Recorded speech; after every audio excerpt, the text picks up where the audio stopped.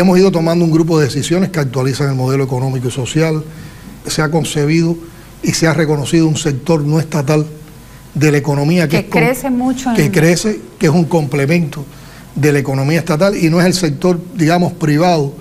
del neoliberalismo, es un sector eh, no estatal, un sector privado que complementa lo que se hace también desde la empresa estatal, que tiene relación con la empresa estatal o con, o con el Estado, que está en el plan de la economía, en nuestra planificación, cuánto aporta el Producto Interno Bruto ese sector, cuánto hay que invertir en ese sector para que tenga facilidades de producir o de dar servicio y cuánto representa también del porciento de la fuerza de trabajo. Y es un sector que yo diría que mayoritariamente también está comprometido con la revolución. Hemos ido a más, no solo hemos reconocido la propiedad privada y la existencia de ese sector privado, sino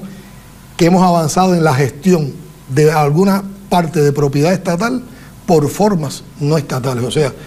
hay propiedad estatal que se da eh, eh, sin ceder la propiedad, se da a forma para que pueda ser gestionada por formas no estatales, ya sea por trabajadores privados o por cooperativas.